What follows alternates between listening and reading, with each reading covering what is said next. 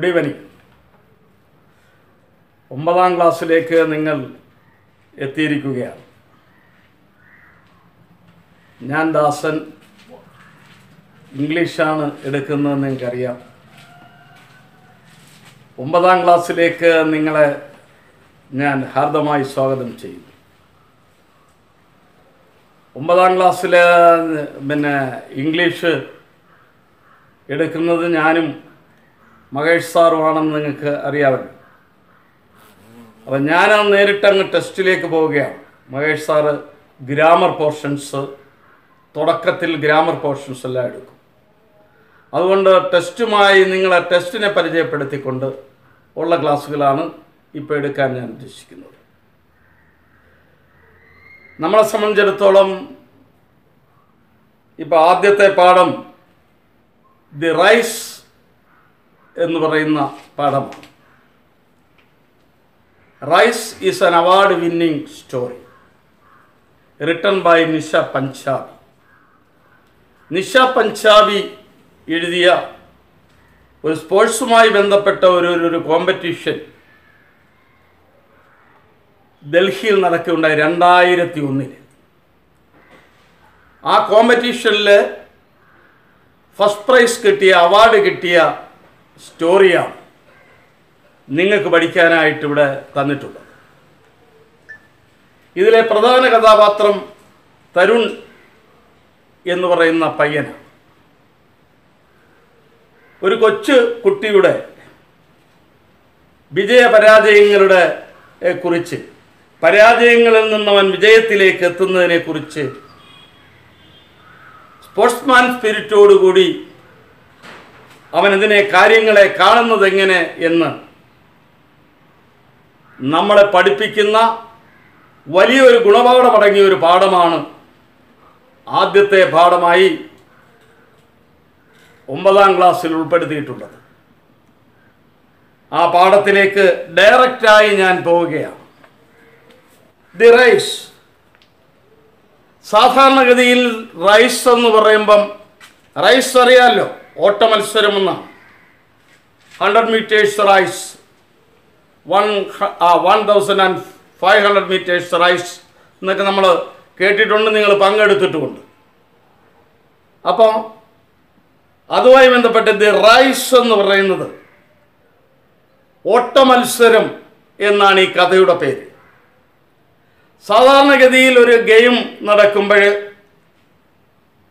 അല്ലെങ്കിൽ ഒരു sporting event നടക്കുമ്പം നിശ്ചയമായും അത് ജയിക്കുന്നവരെ നമ്മളെല്ലാവരും അപ്രിഷ്യേറ്റ് ചെയ്യും. We are always appreciating the winners only ഇവിടെ പരാജയപ്പെട്ടവരെ ലോസേഴ്സിനെ നമ്മൾ ആരും പരാജയ പിന്നെ നമ്മൾ ആരും സാധാരണ അപ്രീഷിയേറ്റ് ചെയ്യാറില്ല. ഇവിടെ ഈ കഥ വായിച്ചാൽ shouldn't we encourage the losers too എന്ന് നമ്മൾ ചിന്തിക്കേണ്ടി വരും. ഈ കഥയിൽ എന്താ സംഭവിക്കുന്നതെന്ന് നമ്മൾ കഥയിലൂടെ കടന്നു പോകുമ്പം നമുക്ക് വ്യക്തമായി കേൾക്കാൻ മനസ്സിലാക്കാൻ കഴിയും. ഞാൻ വായിക്കാം പുസ്തകം എടുത്തോളൂ. ഇതാ ഞാൻ വായിക്കുകയാണ്. Tarun was a mediocre student his grades could barely satisfy his parents And he was not a good singer, dancer, painter, or even an actor. He always thought of himself as the black sheep of the family. His elder brother, who was pursuing a degree in engineering from a, reputed college, always made the family proud. But Tarun was never good at anything like that. Tarun was a mediocre student.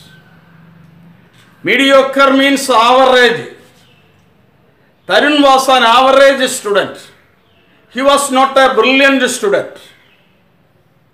he was not uh, uh, uh, at all score the high mark in his class അവന്റെ ക്ലാസ്സിൽ ഉന്നതമായ mark score ചെയ്യുന്ന ആളല്ല തരുൺ നമ്മുടെ കഥാപാത്രമായ തരുൺ ഈ കഥയിലെ main character of the story Tarun അയാൾ ഒരു മീഡിയോക്കർ സ്റ്റുഡന്റ് ആണ്. എന്താണ് മീഡിയോക്കർ സ്റ്റുഡൻസ് ആ അത്ര മെച്ചമല്ല അത്ര മോശമല്ലാത്ത ഒരാൾ. അങ്ങനെ കുറച്ച് ഒരു fifty fifty mark fifty percent മാർക്കൊക്കെ വാങ്ങിക്കുന്ന ഒരു സാധാരണ കുട്ടിയായിരുന്നു Tarun. His grades could barely satisfy his parents mediocre സ്റ്റുഡൻസിനെ ഒന്നും വീട്ടുകാർക്ക് പിന്നെ വീട്ടുകാർ ഉൾക്കൊള്ളത്തില്ല. എന്തുകൊണ്ടെന്നാൽ തന്റെ കുട്ടി ഏറ്റവും മെച്ചപ്പെട്ട ഏറ്റവും നല്ല സ്കോർ ഉള്ള ഏറ്റവും നല്ല ഗ്രേഡ് വാങ്ങിക്കുന്ന കുട്ടിയായിരിക്കണം എന്നാണ് എല്ലാ രക്ഷകർത്താക്കളും രക്ഷിതാക്കളും ആഗ്രഹിക്കുന്നത്. അതുകൊണ്ട് ഓരോ ക്ലാസ്സിലെയും ഫസ്റ്റ് ഓരോ ക്ലാസ്സിലെയും ഹൈ ഹൈ സ്കോറുകാരെ എന്നാണ് രക്ഷകർത്താക്കൾ ചിന്തിക്കുന്നതും തന്റെ കുട്ടി ഏറ്റവും നല്ല സ്കോർ വാങ്ങിക്കണമെന്ന് ആഗ്രഹിക്കുകയും ചെയ്യുന്നത്.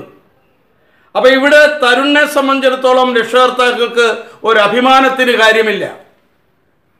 കാരണം his grades could barely satisfy his parents അദ്ദേഹത്തിന്റെ പേരൻസിനെ സംബന്ധിച്ചിടത്തോളം അദ്ദേഹം പരീക്ഷയ്ക്ക് ഈ പയ്യൻ പരീക്ഷയ്ക്ക് വാങ്ങിക്കുന്ന മാർക്കുകളൊന്നും അവരെ സംബന്ധിച്ചിടത്തോളം ഒരിക്കലും സാറ്റിസ്ഫാക്ടറി അല്ല.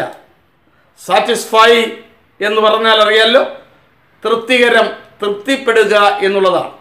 സാറ്റിസ്ഫാക്ടറി എന്ന് പറഞ്ഞാൽ അഡ്ജക്റ്റീവാണ് അത് തൃപ്തികരം എന്നാണ്. അതിന് നോൺ ഫോം സാറ്റിസ്ഫാക്ഷനാണ് അതിന്റെ ഓപ്പോസിറ്റ് ഡിസാറ്റിസ്ഫാക്ഷനാണ് അപ്പം his parents were dissatisfy about his studies about his grade his score score the examinations his parents could barely satisfy his parents and he was not a good singer അപ്പോൾ സാധാരണഗതിയിൽ പഠിത്തത്തിൽ അല്പം പിന്നോട്ട് നിൽക്കുന്ന ഒരു കുട്ടി നല്ല പാട്ടുകാരനായിരിക്കാം നല്ല ആക്ടർ ആയിരുന്നിരിക്കാം നല്ല ഡാൻസർ ആയിരുന്നിരിക്കാം ഏ? അല്ലെങ്കിൽ ഏതെങ്കിലും തരത്തിലുള്ള ഒരു സ്പോർട്സ് രംഗത്തോ മറ്റേതെങ്കിലും രംഗത്ത് തിളങ്ങുന്ന ആളായിരിക്കാം. പക്ഷേ ഇവിടെ he was not a good singer he was not a good dancer he was not a good painter or even an actor ഈ രംഗങ്ങളിലൊക്കെ അയാൾ ഒരു തരത്തിലും മുന്നിലായിരുന്നില്ല. അയാൾ ഒരു ഒരു തരത്തിലൊരു നല്ല രീതിയിൽ ഒരു പെർഫോമർ ആയിരുന്നില്ല. അതുപോലെ he always thought of himself as the as the black sheep of the family അപ്പൊ ഈ കുടുംബത്തിൽ എല്ലാവരും ഇയാളെ എപ്പോഴും കുറ്റപ്പെടുത്തി കുറ്റപ്പെടുത്തിയിരിക്കുന്നതുകൊണ്ട് ഇയാൾ തന്നെ താൻ അങ്ങ് വിചാരിക്കുകയാണ്. ഞാൻ ഈ കുടുംബത്തിന്റെ ബ്ലാക്ക് ഷീപ്പാണ് ഏറ്റവും പിന്നോക്കാവസ്ഥയിലുള്ള പയ്യനാണ്. ഈ കുടുംബത്തിനൊരു ഒരു ഒരു അപമാനകരമായി വരുന്ന പയ്യനാണ്. അവരുടെ കുടുംബത്തെ സംബന്ധിച്ചിടത്തോളം അഭിമാനിക്കാൻ ഇടമില്ലാത്ത തരത്തിലുള്ള ഒരു പയ്യനാണ്. എന്തുകൊണ്ടെന്നാൽ ആ കുടുംബം വിദ്യാഭ്യാസപരമായി എപ്പോഴും മുന്നിൽ നിൽക്കുന്ന ഒരു കുടുംബമാണ്. ആ കുടുംബത്തിലെ ഒരു പയ്യൻ അങ്ങനെ മെച്ചമല്ലാതെ പഠിക്കുന്നു എന്ന് പറയുമ്പോൾ തന്നെ ആ കുടുംബത്തെ സംബന്ധിച്ചിടത്തോളം അവർക്ക് ആക്ഷേപകരമാണ്. അപ്പൊ അയാൾ തന്നെ പറയാണ് എല്ലാ കാര്യത്തിനും തൊട്ടതിനും പിടിച്ചതിനും ഒക്കെ ആളുകൾ അയാളെ കളിയാക്കുകയും കുറ്റപ്പെടുത്തുകയും ഒക്കെ ചെയ്യുമ്പം അയാൾ തന്നെ പറയാണ് അയാ അയാൾ തന്നെ വിചാരിക്കുക he himself thought that he was the black sheep of the family ഈ കുടുംബത്തിലെ ഏറ്റവും കറുത്ത ആടായിട്ട് വളരെ മോശമായ പയ്യനായിട്ടാണ് താനെന്ന് പോലും അയാൾ തന്നെ വിചാരിക്കുന്നു. ഹിസ് എൽഡർ ബ്രദർ അതേസമയം അയാളുടെ മൂത്ത സഹോദരനെ സംബന്ധിച്ചിടത്തോളം അവരുടെ കുടുംബം ഞാൻ നേരത്തെ പറഞ്ഞ പോലെ വിദ്യാഭ്യാസപരമായി വളരെ മുന്നിലുള്ള ഒരു കുടുംബമാണ്. His elder brother who was pursuing a degree in engineering from a reputed college his elder brother മൂത്ത സഹോദരൻ എങ്ങനെയാണ്? What is his elder brother his elder brother who was who was pursuing a degree in engineering from a reputed college reputed famous വളരെ പ്രശസ്തമായ ഒരു കോളേജിൽ നിന്ന് engineering degree കരസ്ഥമാക്കിയ പയ്യനാണ് മൂത്താൾ. നമ്മുടെ ഐ ഐ ഐ ടികളിലൂടെയൊക്കെ നല്ല രീതിയിൽ അതുപോലെയുള്ള സ്ഥാപനങ്ങളിൽ പഠിച്ച് നല്ല രീതിയിൽ എഞ്ചിനീയറിംഗ് ഡിഗ്രി കരസ്ഥമാക്കിക്കൊണ്ട്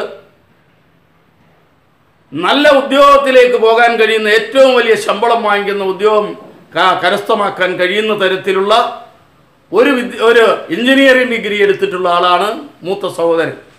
ആ നാട്ടിലെ മുഴുവൻ ആളുകളും അഭിമാനത്തോടെ ഡാ അവനെ കണ്ടു പഠിക്ക് എന്ന് പറയുന്ന തരത്തിലേക്ക് അത്ര അഭിമാനകരമായ ഒരു വിദ്യാഭ്യാസ വിജയം നേടിയിട്ടുള്ള ഒരു ഒരാളാണ് അയാളുടെ മൂത്ത സഹോദരൻ. ആ മൂത്ത സഹോദരന്റെ ഇളയാളെന്ന നിലയിൽ നാട്ടിലെ മുഴുവൻ ആളുകളും ഇയാളെ ശ്രദ്ധിക്കും. അപ്പോൾ ഈ പയ്യൻ ഇങ്ങനെയായോ എന്ന് നാട്ടുകാരും ശ്രദ്ധിക്കും. അങ്ങനെയാണ് ഇയാൾ വിചാരിക്കുന്നത് I am the black sheep of the family എന്ന് അയാളും ചിന്തിച്ചു പോവുകയാണ്. അങ്ങനെ his elder brother who was pursuing a degree in engineering from a reputed college always made the family proud ആ കുടുംബത്തിന് അത് പ്രൗഡാണ് അഭിമാനമാണ്. പ്രൗഡ് മീൻസ് അഭിമാനം ഓപ്പോസിറ്റ് ഷെയ്ം പ്രൗഡിന്റെ ഓപ്പോസിറ്റ് ഷെയ്മാണ് അപ്പോൾ his elder brother was always made a proud about his family but Tarun was never good at anything like that Tarun was opposite of that his his elder brother his elder brother is reputed engineering engineer but Tarun is a poor lad poor boy poor performer in studies പാഠഭാഗം കൃത്യമായി നിങ്ങൾ ഒരു ഒരു ഒരു paragraph ഞാൻ പഠിപ്പിച്ചിരിക്കാം. ആ paragraph നിരന്തരമായ ഒരു അഞ്ചാറ് പ്രാവശ്യം തവണ ആവർത്തിച്ച് ആവർത്തിച്ചത് വായിക്കണം. വായിച്ചിട്ട് ഹുവാസ് തരുൺ തുടങ്ങിയിട്ടുള്ള ഒരു കുറേ ചോദ്യങ്ങൾ നിങ്ങളുടെ മനസ്സിലേക്ക് തന്നെ നിങ്ങൾ തന്നെ ചോദിച്ച് അതിന് ഉത്തരം കണ്ടെത്തണം. അങ്ങനെ ശരിക്ക് പഠിച്ച് അടുത്ത ക്ലാസ്സിൽ ഒന്ന് പ്രിപ്പയർ ചെയ്ത് നിങ്ങൾ ഇരിക്കണം എന്നാണ് എനിക്ക് പറയാനുള്ളത്.